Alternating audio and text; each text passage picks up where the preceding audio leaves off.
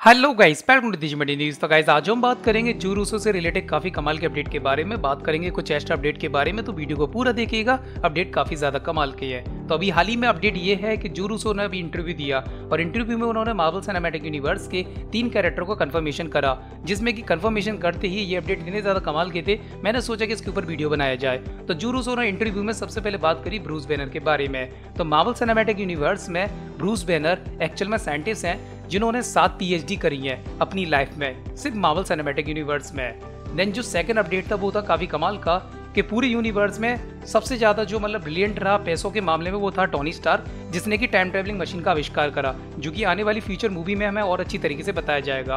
Then उसके बाद पूरे मार्वल सिनेमैटिक यूनिवर्स में सबसे ज़्यादा जो होशियार कैरेक्टर है वो है शुरी जो कि ब्लैक पैंथर यानी कि तचाला की बहन है।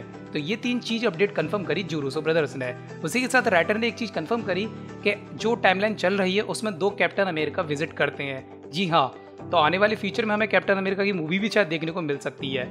एवेंजर एंड गेम में एक सीन ऐसा था जिसमें कि स्कारलेट जॉनसन यानी कि ब्लैक विडो और हमारा हॉक आय का एक लव सीन था, जो कि डिलीट कर दिया गया।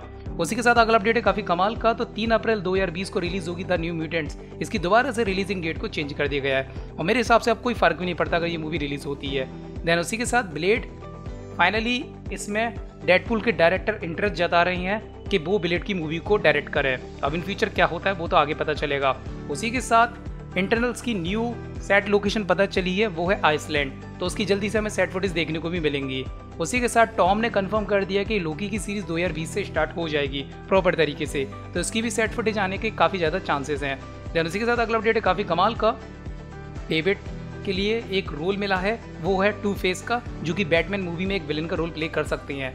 अब कैरेक्टर व्हाइट से ब्लैक हो गया, अब इसका आप कंप्लेंट मत करिएगा। ट्रेनर एमसीयू में कंफर्म तो हो चुके हैं, पर एज एक वुलवरिन होंगे, ये अभी कंफर्म नहीं हुआ है। उन्होंने ये बात खुद इंटरव्यू में बोली है।